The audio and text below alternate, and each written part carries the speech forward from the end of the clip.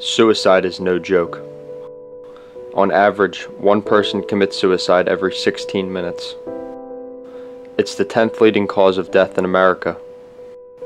It's also the third leading cause of death for teens and adults ages 15 to 24. Depression is the leading cause of suicide. About two thirds of people who commit suicide are depressed. Each suicide affects at least six other people. If you think someone is considering suicide, don't leave the person alone. Talk to them. Contact a teacher, a parent, a counselor, a coach, or a friend.